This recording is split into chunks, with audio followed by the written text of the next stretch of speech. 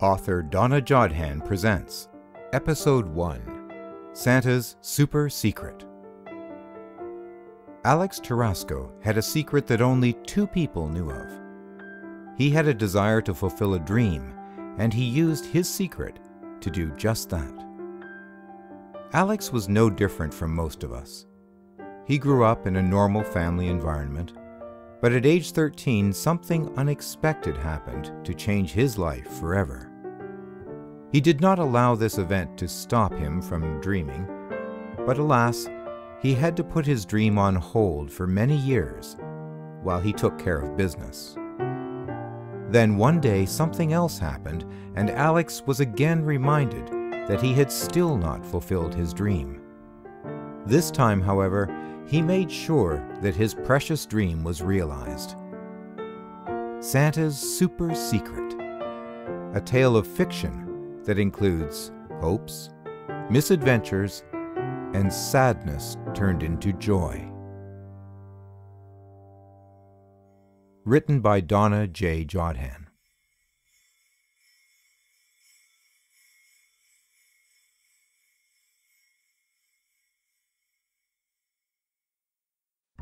Merry Christmas, everybody! Happy holidays, and I hope that everyone is enjoying themselves and that they've all been very good this year, and that Santa Claus is going to be bringing them lots and lots of presents and good things. For all you girls and boys, Merry Christmas and Happy Holidays from Detective DJ and her team.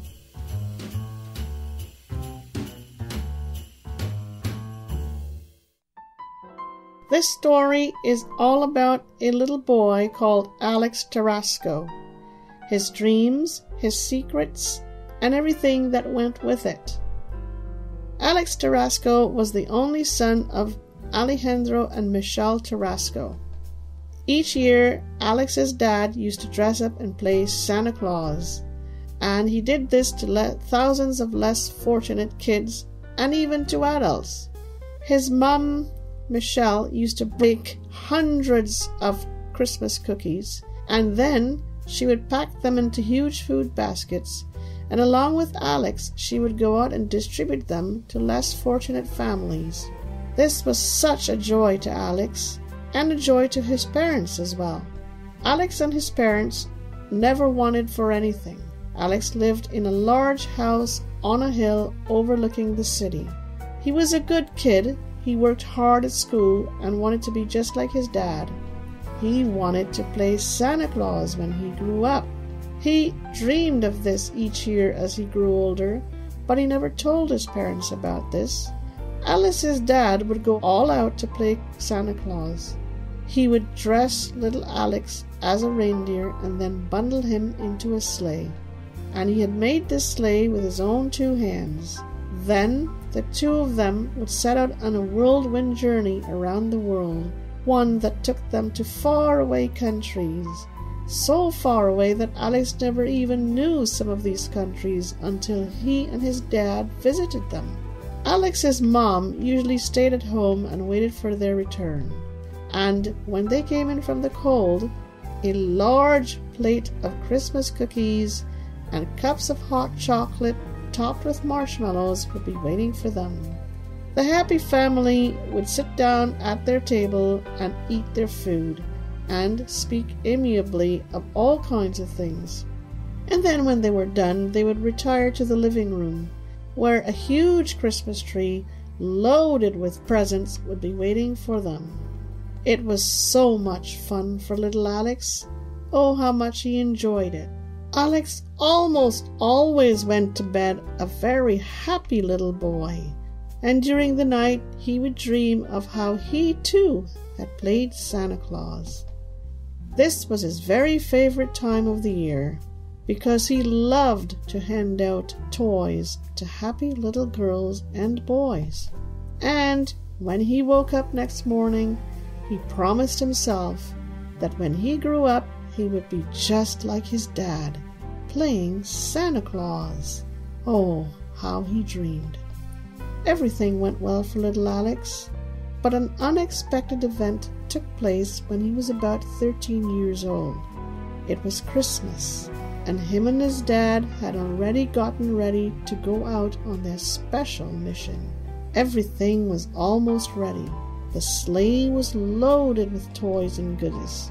Alex was already dressed Santa's little reindeer, and his dad was already stuffed into his special Santa suit. The sleigh was piled high with toys and goodies, and stood ready for action in the driveway. At around 7 p.m., there was a sharp knock at the front door, and Alex's dad went to answer it. Everything went haywire after that. Alex's dad was shot dead on the spot, and the intruder tried to flee. But Alex would have none of it. He tackled the intruder while his mum called 911, and he was screaming and shouting as he pinned the intruder to the floor. The intruder was caught, but Alejandro Terrasco was dead. Now Alex would become the man of the house.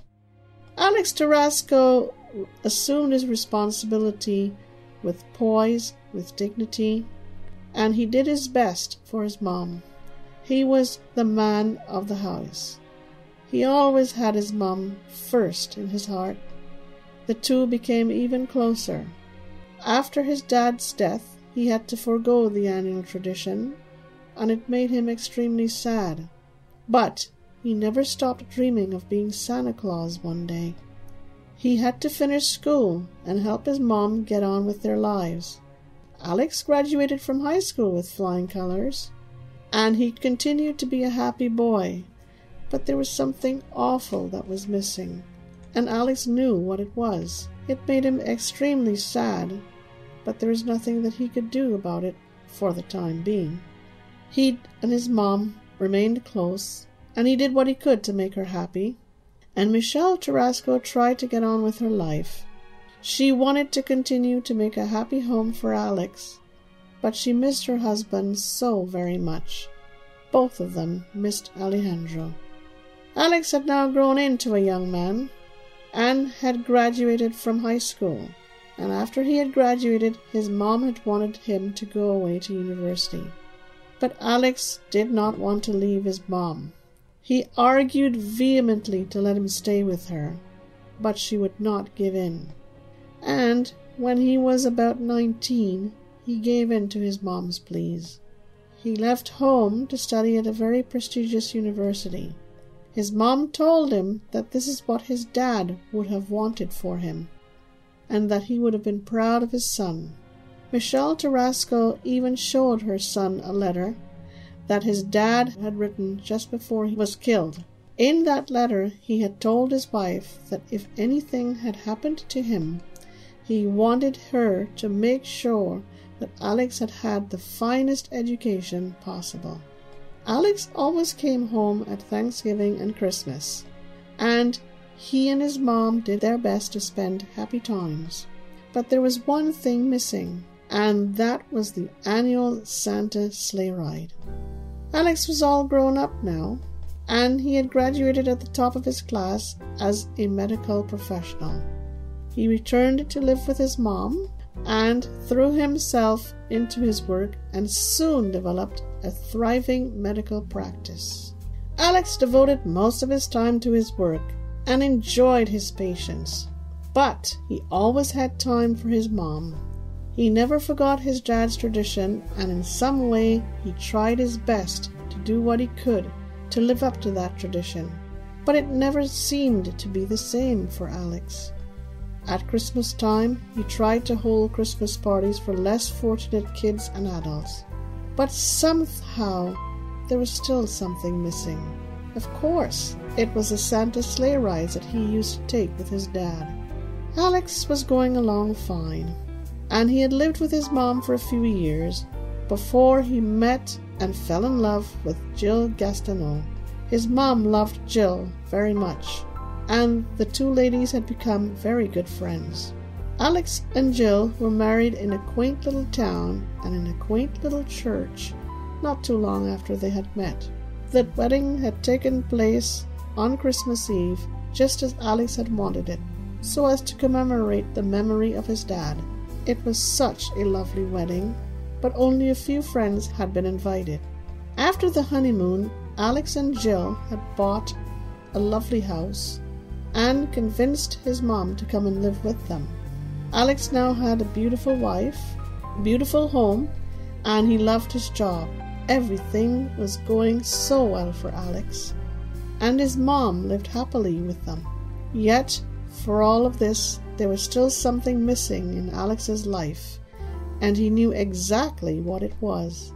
Not too long after his marriage, Jill became pregnant, and Alex was overjoyed. He was looking forward to having kids and becoming a father, and hopefully he would get his kids to follow this tradition the annual Santa sleigh ride.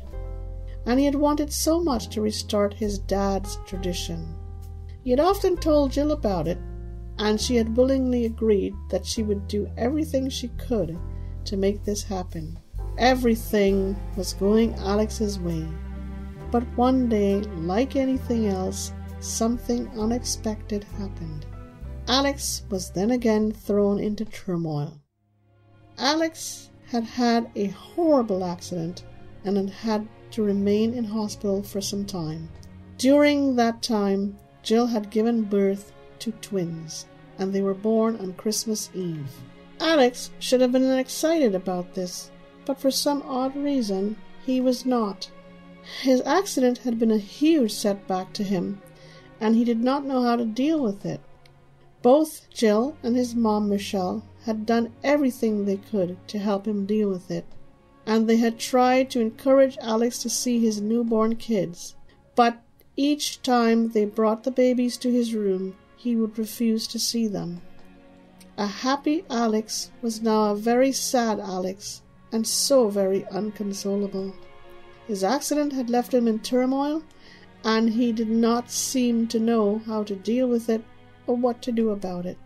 Upon his return home, things had gotten worse for poor Alex. He withdrew from everyone. He no longer spoke to either Jill or his mom, and he even refused to play with his new kids. They named the kids Andre and Jamie, and they were both lovely kids.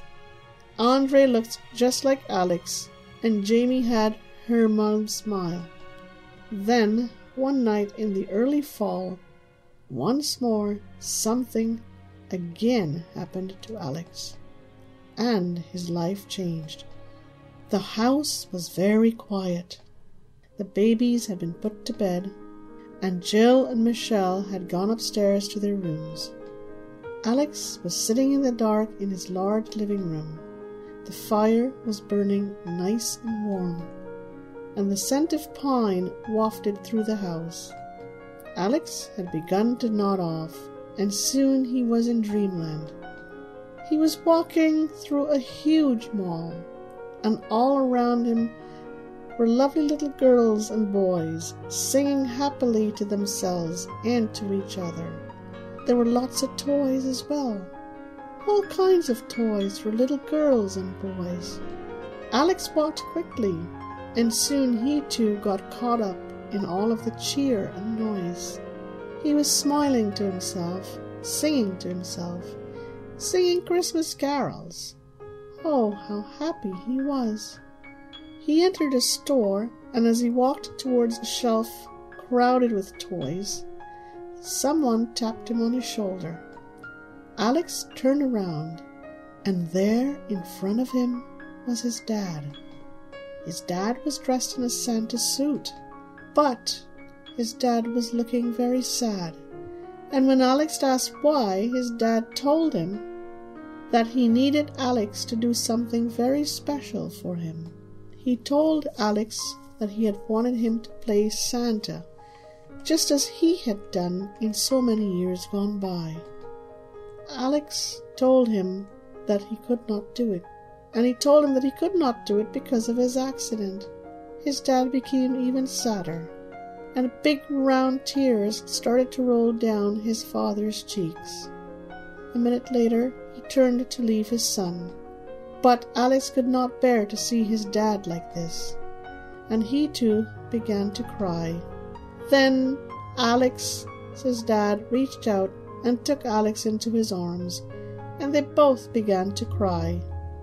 After a minute, Alex's dad whispered something in his ear, and before he knew it, his dad had disappeared. But not before Alex had made a promise to him. Next morning, Alex awoke a new man. Yes, he was a new man.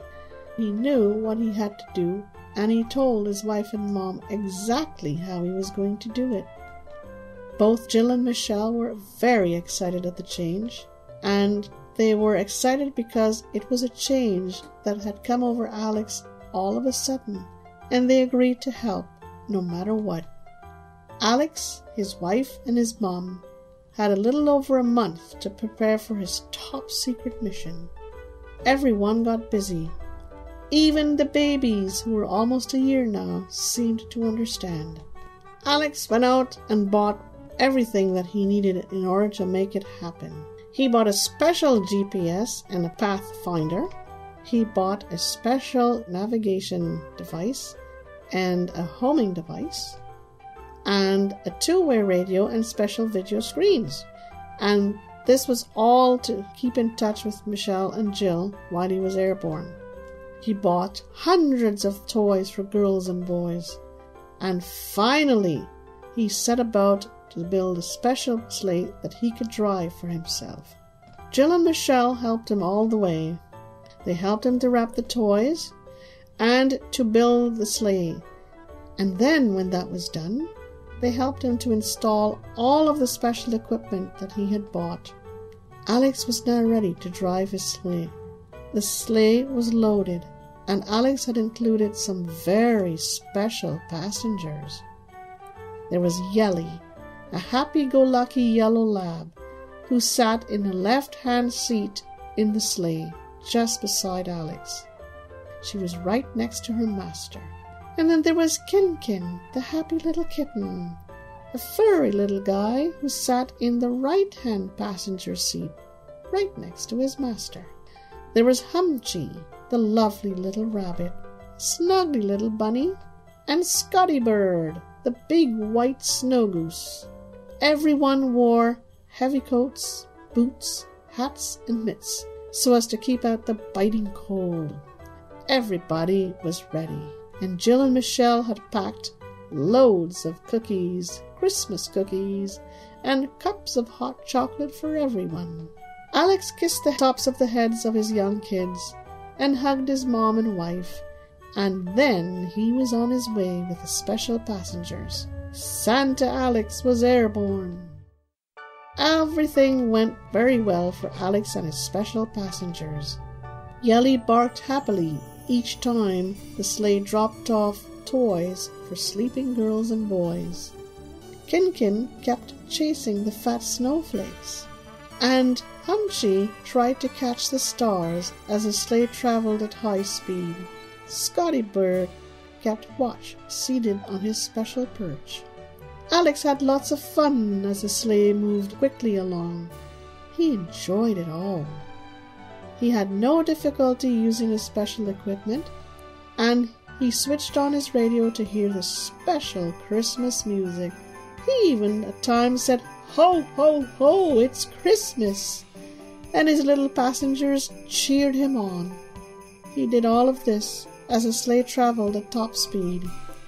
The cold winds were blowing in his face, and he had happy memories of when he and his dad used to do this so many years ago. Throughout his journey, he spoke constantly to his mom and wife, and they watched his progress on the video screens. They were both very excited for Alex, and even Andre and Jamie managed to stay up long enough to see their dad traveling on his sleigh. Andre giggled constantly, while Jamie smiled happily each time she saw her dad on his sleigh. Alex gave out iPhones, iPods, and video games, books, board games, tea sets, doll houses, electronic cars, crayons, and all kinds of other stuff. And he drops off tins of chocolates and biscuits and cookies and cakes for lots of other people. And when he had given out everything, he turned for home. He almost lost his way on his approach to his house because his GPS had suddenly stopped working. Jill and Michelle had managed to guide him home safely. Alex was a happy but tired man as his sleigh landed. The animals, all sleepy, had clambered out and headed for their beds. They had eaten and drunk most of the cookies and hot chocolate that Jill and Michelle had packed for their trip. Alex was a happy man now, and so too were his wife and mom. Alex was about ready to reveal a secret. Alex had fulfilled his mission, and he had kept his promise to his dad. Now he wanted to share his secret with the rest of the world. Just before he wished his family a Merry Christmas, he told us the following story. Alex's accident had been a traumatic one. He had woken up one morning with absolutely no vision. Everything around him was pitch black. His wife, Jill, had rushed him to the hospital, and after a few hours, the doctors had told her that there was nothing to be done for her husband. They had decided to keep him for a few days to run some tests, but these days had stretched into months because Alex had developed some complications. Alex did not want anyone to know that he had gone blind. Only Jill, his wife, and his mom Michelle knew the top secret. He did not even tell his patients, choosing instead to close down his thriving medical practice. Upon his return home, Alex had become extremely despondent, and Jill and Michelle had become extremely worried. He had even refused to play with his kids, choosing instead to spend time on his own. He took no phone calls, and he had even refused to answer any of his emails. Nothing seemed to interest Alex anymore until that fateful night when he had his dream. Alex's dad had told him that he should not let his blindness stop him from resuming his tradition of playing Santa Claus and that he had owed it to the less fortunate to keep on playing Santa. The rest is history. When Alex awoke on Christmas morning, there was quite a surprise for him. Santa had left him a present. It was a surprise to behold. His vision had miraculously returned, and he was once more able to see everyone. He saw beloved faces of his beloved kids for the first time since they were born and he sobbed with joy when he saw them. The family crowded around him, and the animals came in from outside. They crowded around his chair, and he sat there admiring each of them. Yelly jumped into his lap and lay there looking up at him. Kinkin snuck up onto his shoulders and began purring loudly, and Humpty hopped onto the arm of his chair and stood there looking at him. Scotty Bird flew in from outside and perched on a table loaded with Christmas goodies that was nearby. Santa has not forgotten Alex's most desired wish. He had returned vision to an ever grateful Alex. Alex and his family began to cry all at once, and they did not forget to thank Jesus for all of their special blessings on this Christmas day.